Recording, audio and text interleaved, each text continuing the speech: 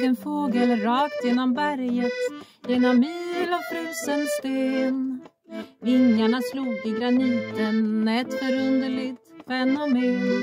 Så kom den ut över öppet vatten, nådde fram till ett skepp till slut som hade sargats i många stormar innan ovädret ebbade ut.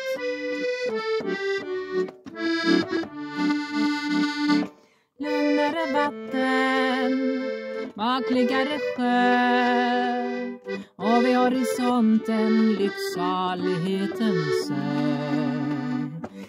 Vågorna häver sig i tysta tunga kullar av ett inmoder som förbarmar sig och rullar.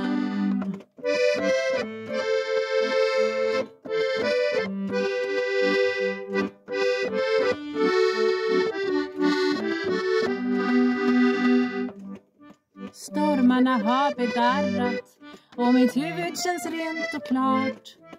Vindarna smattrar i seglen och skeppet skjuter fart på seglats under södra korset mot en efterlängtad kust. Luften är frisk efter regnet och skeppet darrar av lust.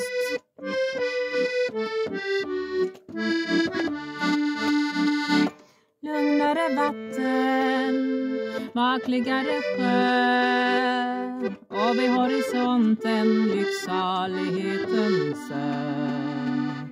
Vågorna häver sig i tysta tunga kullar Havet är en moder som förbarmar sig och rullar.